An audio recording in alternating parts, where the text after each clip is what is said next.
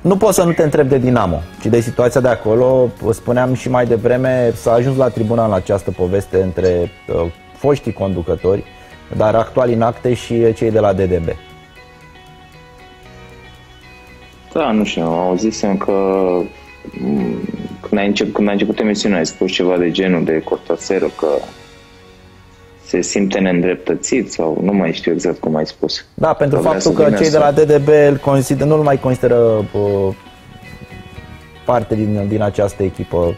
Da, și de asta și a ajuns simt... la... Da, păi dacă el se simte neîndreptățit, atunci cum ar trebui să se simtă oamenii aia care au suferit din cauza lui?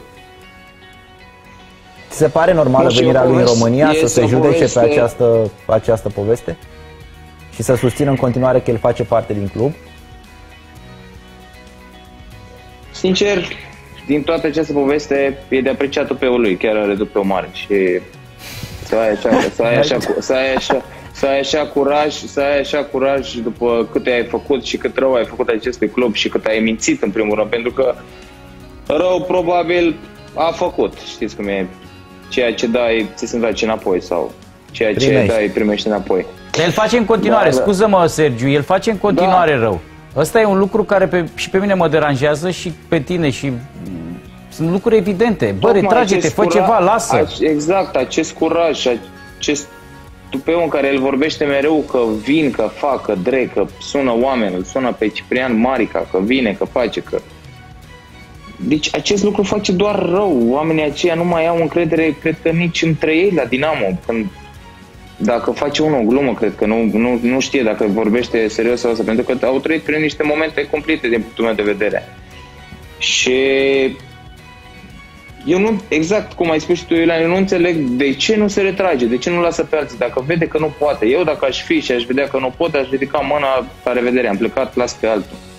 Dar eu tot aștept să văd ce se află în spatele acestei po- povești, pentru că pentru mine mi se pare incredibil un om să apară din senin, să preia un club ca Dinamo, pentru că trebuie să recunoaștem, este un club mare, uh, să preia un club ca Dinamo și să se joace cu viața acestui club.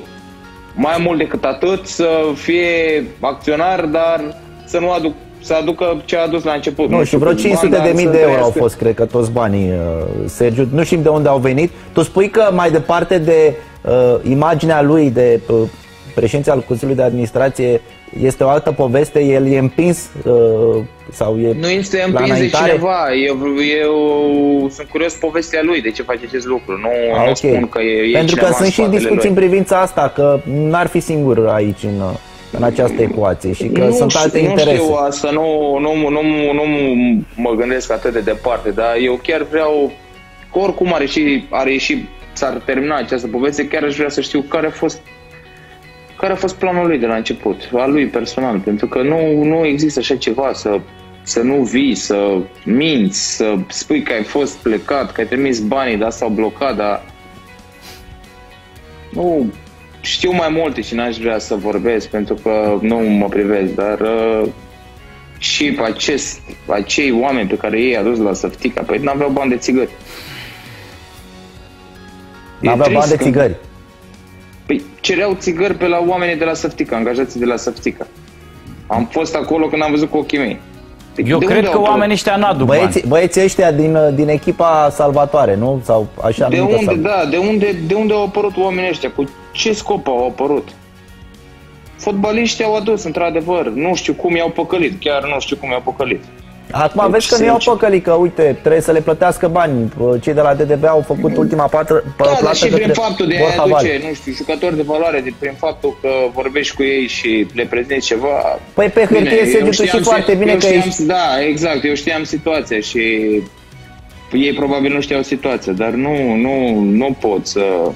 Clar, în am învățat un lucru. Clar undeva unde e foarte, foarte bine e un semn de întrebare. Trebuie să trebuie să spui Unde niște, ți se oferă niște, prea mulți bani e...